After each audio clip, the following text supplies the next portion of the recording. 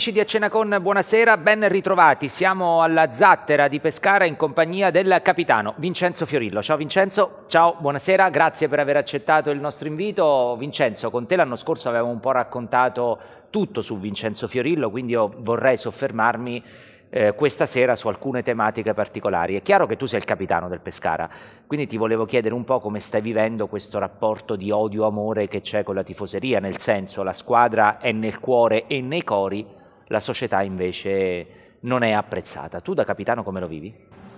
Ma io ormai questa situazione non è la prima volta che, che, che capita ecco, in questi ultimi anni.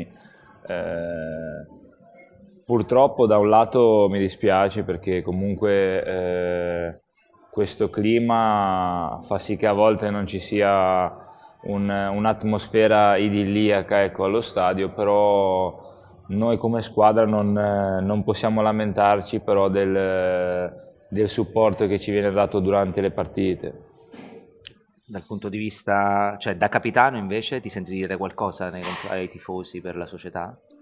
Ma eh, da capitano l'unica cosa che, che, mi sento di dire è che adesso arriveranno tre mesi importantissimi e forse sarebbe eh, intelligente da parte di tutti provare a sospendere un attimo i giudizi e rimandarli magari solamente ecco, a fine maggio. Non, eh, non sto dicendo che siano giuste o sbagliate eh, i pensieri o le opinioni de, dei tifosi perché in tutte le, le, piazze del mondo i tifosi sono i primi a esprimere le loro sensazioni, che siano buone o no. Quello che posso dire io come capitano della squadra è che forse in questo momento qua della stagione, dove ripeto arriveranno comunque tre mesi, eh, partirei ecco, dal primo mese adesso fondamentale per capire poi il tipo di obiettivo che, che si andrà a delineare eh,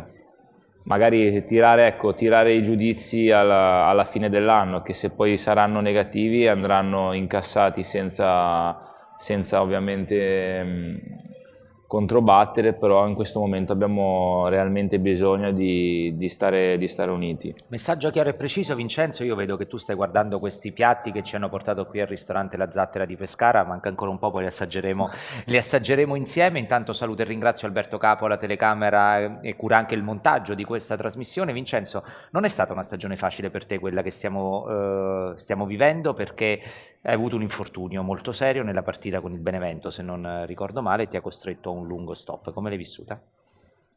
Ma eh, devo ammettere che fino, ecco, fino, a quel momento lì, ma anche dopo il mio rientro, sono riuscito comunque a, a fornire delle prestazioni più che, più che buone. Ecco.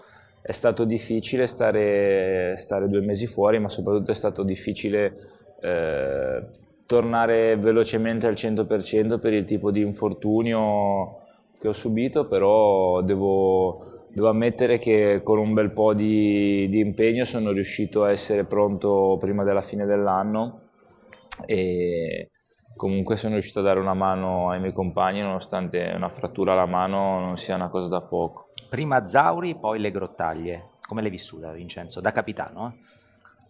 Ma eh, con Mister Zauri comunque abbiamo fatto la maggior parte dei punti che abbiamo adesso, quindi eh, non siamo stati forse forti a, a trovare un'identità di gioco precisa, ma questa non è solo responsabilità dell'allenatore, è ovvio che può incidere tanto.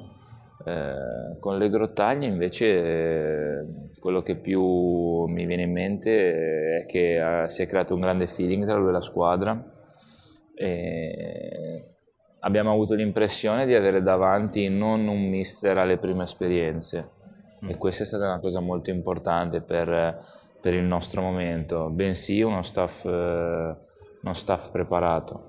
E te ne accorgi e sono, di questo sono molto contento, sono convinto che lui eh, potrà tirare fuori il massimo da, da questa rosa qui. Vincenzo, eh, in una delle ultime partite, mi viene da pensare quella con il Cittadella, c'è stata una grande polemica da parte dei dirigenti, anche da parte di Nicola Le Grottaglie, sull'operato del direttore di gara, sempre da capitano.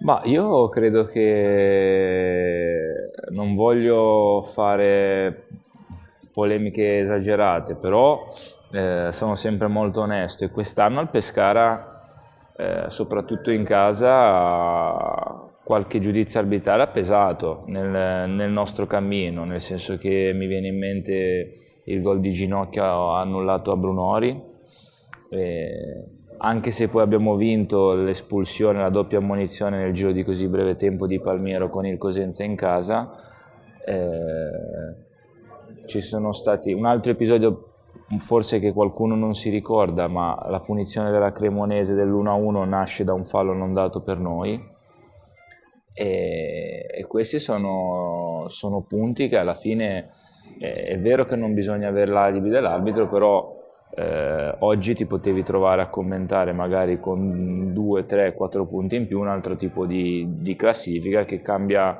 eh, la visione di tante cose. E credo che purtroppo ultimamente eh, allo stadio Adriatico prima il, il, fattore Adriatico era un po' più, un po più temuto ecco, da, dai, dei direttori di gara, mentre adesso credo che quest'anno siamo un po', siamo un po in debito. Anche, mi viene anche da pensare, per aggiungere a quello che dici tu, Vincenzo, la partita con il Cittadella, prima del rigore decisivo di Iori, c'è stato un brutto fallo di D'Urso sì. proprio qualche minuto prima, che era da secondo giallo plateale, evidente. Sì, c'era un'altra espulsione anche per il Cittadella, cioè, questi sono episodi che... Eh, non mi viene da pensare male, però li sommo ad oggi che siamo al girone di ritorno e non sono pochi. Vincenzo, tu hai sempre detto le interviste, non solo a noi, io mi sento, ho, il, ho, Pescara nel cuore, mi vedo tanti anni a Pescara. Gli anni passati non ne parliamo più perché l'abbiamo detto tante volte, rifiutato proposte importanti anche per giocare l'Europa League. È un pensiero che hai sempre, sì, Pescara nel cuore. Sì, quello sì, pure grazie a Dio non... Eh, la cosa bella del, del mio attaccamento a Pescara, l'ho già detto altre volte, è un attaccamento che non nasce eh, nei momenti di, di, grandi vittorie o festa, quindi eh, anche nei momenti difficili questa cosa non è cambiata ed è per questo che per me eh, l'attaccamento che io ho a questa squadra non cambia in base a, al tipo di prestazioni che sto fornendo io, al tipo di simpatia che ho io eh, che la tifoseria può nutrire in me in base a come sto giocando. Per me, quello, per, me, per eh, l'attaccamento al Pescara è una cosa incondizionata, l'ho dimostrato mh, anche quando non scendevo mai in campo, quindi eh, posso dirlo in maniera onesta e sincera. Non, eh, non ho, mh, è un amore che non ha secondi fini o, o della ruffianaggine. Ma queste sono parole molto belle. Vincenzo, ti senti già di dire Pescara tanti altri anni? Sì, finché non, non, finché non, non mi cacciano vorrei rimanere qua per tantissimo, eh, sarei felicissimo io, sarebbe felicissimo eh, la mia famiglia, la mia compagna, i nostri figli che sono anche loro i primi tifosi del Pescara. Perché abbiamo fatto questo sorriso io e te Vincenzo mentre dicevi questo?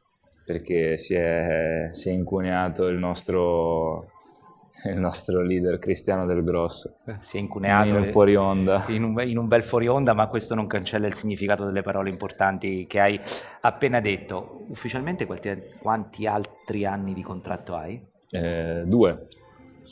Solo una formalità saranno due. Eh, non lo so, nel senso non, eh, spero di sì, ma non è questo un problema. Vedremo quando si avvicinerà la fine del contratto, eh, da parte mia non credo ci possano essere dei problemi, quindi da oggi a quel giorno lì c'è ancora tanta strada da fare e spero di, di poterla fare nel migliore dei modi.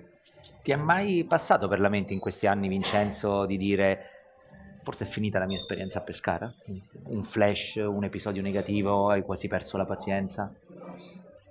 Eh ma eh, devo dirti la verità, mm, all'inizio dopo la retrocessione dalla Serie A ero, ero convinto che, che, il Pescara puntasse su di me per il campionato di Serie B, eh, ma quell'estate mi fu comunicato che probabilmente non sarei stata una prima scelta, ma ci rimasi male perché comunque eh, non avevo avuto molto spazio in Serie A, quelle poche partite, seppur con una retrocessione già in tasca eh, non le avevo fatte male, poteva essere un buon allenamento in, in virtù della stagione dopo, eh, ma mm, niente, mi era stato comunicato che non, non sarei stata la prima scelta e per rispetto la società mi aveva anche detto che se non fossi voluto rimanere a fare il secondo mi avrebbero capito, ma io gli ho detto che per me non c'erano problemi, che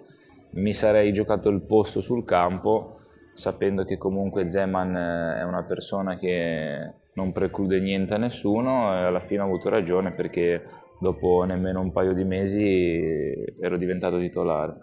Vincenzo, siamo quasi in chiusura, ti chiedo, so che non è bello ricordarlo, però se hai un flash eh, di quella partita con il Verona dell'anno scorso, siete arrivati a una traversa scheggiata di Bellini dalla Serie A? Ci penso spesso, sì, ci penso spesso perché ho, ho spesso in mente ecco, l'immagine del, del rigore. E purtroppo mi ha, mi ha fatto male, dico la verità, perché sarebbe stato davvero un, un, coronamento di un sogno vincere due campionati con il Pescara e fare la terza finale playoff in così pochi anni.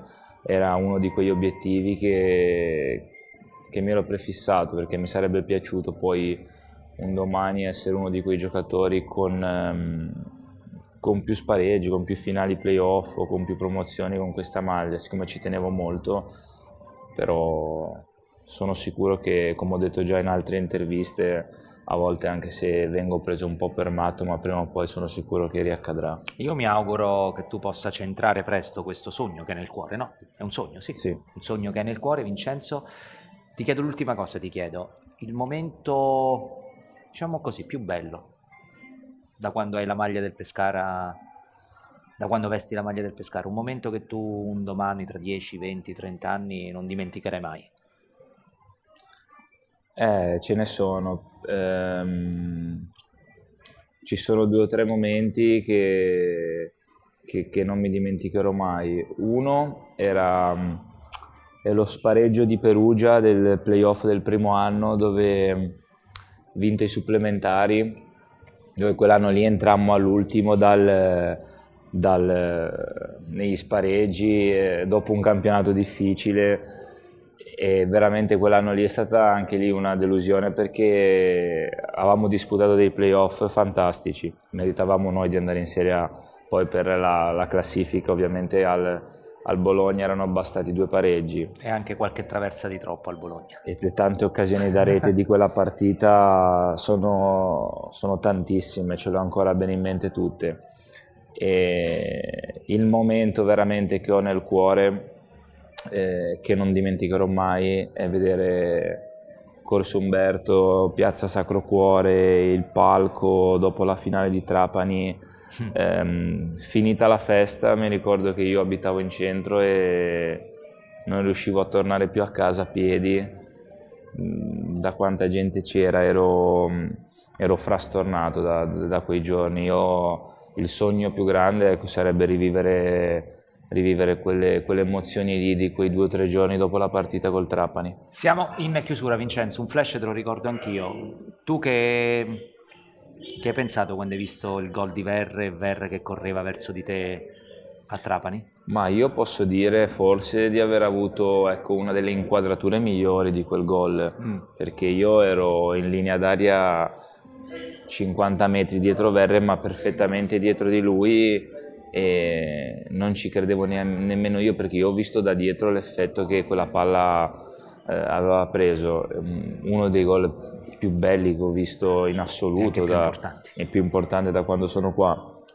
Eh, ricordo la gioia incredibile, ma ricordo anche che la mia testa era proiettata agli ultimi minuti a, a non subire gol, quindi io fino al triplice fischio onestamente non, non l'ho goduto il, il gol di Verre, ho, mi ricordo solo che quei 15 minuti dal trentesimo al 45 del secondo tempo sono stati i più lunghi della mia vita, eh, ma avevamo resistito a un assalto, a un certo punto mi ricordo non, non giocavamo più la partita, ci stavamo davanti all'area di rigore a far passare il tempo e calciavamo la palla nello spazio aspettando questi tre fischi. Vincenzo, io ti ringrazio per questa piacevole chiacchierata, facciamo un brindisi così magari eh, un in bocca al lupo affinché tu possa realizzare il tuo, il tuo sogno. Grazie ad Alberto Capo alla telecamera, grazie al ristorante La Zattera di Pescara che ci ha ospitato. Ora io e Vincenzo assaggiamo questi splendidi piatti, noi invece ci vediamo la prossima settimana sempre a cena con. Ciao!